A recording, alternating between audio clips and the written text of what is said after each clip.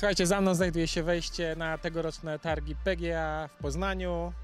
Setki wystawców, tysiące ludzi. Mamy tam swoje stanowisko razem z Ineą, także chodźcie ze mną, zapraszamy Was do środka, zobaczymy co się tam dzisiaj dzieje.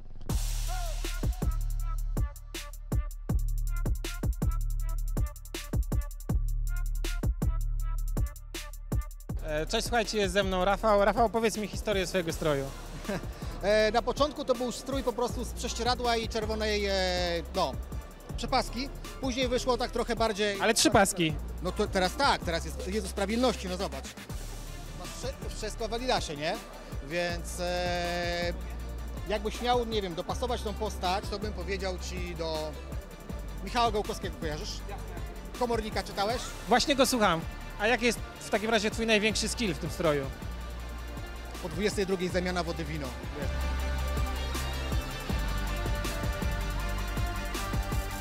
Chodzimy na zamkniętą konferencję Skull and Bones. Musimy być cicho, ale zobaczymy, co tam się dzieje. Chodźcie.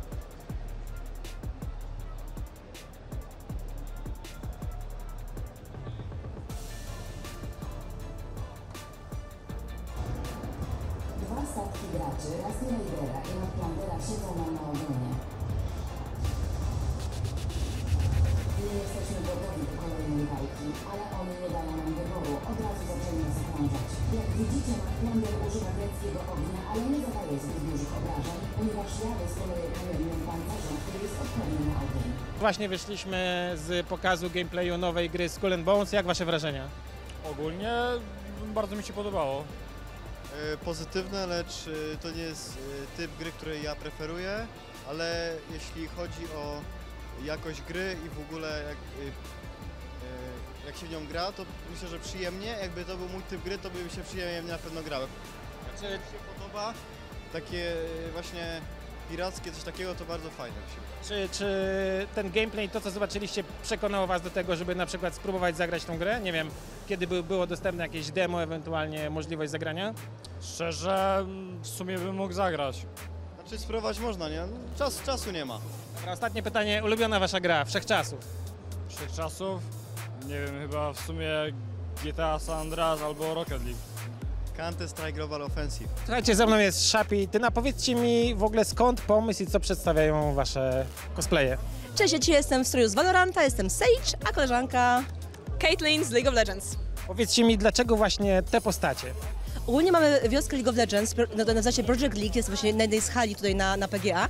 No i po prostu uznaliśmy, że chcemy stroje, które są właśnie z e, uniwersum Riot Games, także tak się przebrałyśmy dzisiaj. Tak, dokładnie tak. No jakby Szafi powiedziała wszystko. Robimy stroj z Lola, bo jesteśmy Project League. Ona ma z Valoranta, bo to też gra Riotu.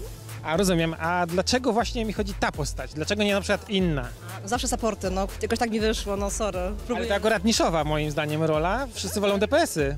Wiesz co, laski i supporty to jest jedna miłość, także ja zostałam supportem. Rozumiem DPS. Ja po prostu lubię duże bronie. Jak możecie zauważyć za mną na poznańskich targach mamy także gry dla najmłodszych. Widzimy tutaj grę wzorowaną na psim patrolu, wyścigi. Jak widać najmłodsi świetnie się bawią. Pierwsze twoje targi PGA? Tak. Jak ci się podoba powiedz mi? No jest bardzo fajnie. Czy masz już tutaj swoją jakąś ulubioną grę albo grę, w którą chciałbyś zagrać? Na pewno chciałbym zagrać w Assassin's Creed'a, tylko że no ciągle tam są miejsca zajęte. Aktualnie grasz, widzę, w Grand Prix Psi Patrol, chyba jedziesz Sky, jeśli dobrze e, widzę. Powiedz, jak wrażenia z gry? No takie se. Czyli mówisz, że wyścigi... To Mario Karta. Jasne, czyli mówisz, że wyścigi to nie jest twój ulubiony typ gier. W takim razie, jakie są dla ciebie najlepsze gry?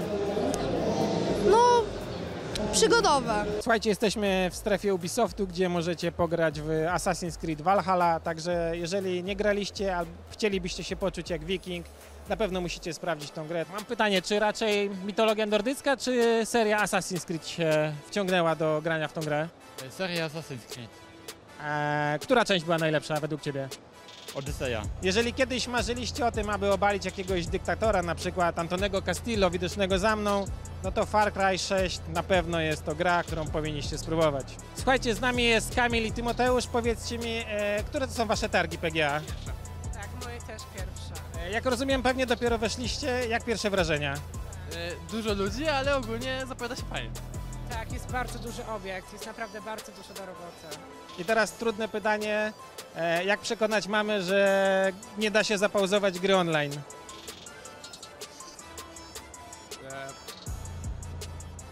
Nie wiem, po prostu zamknąć się w pokoju.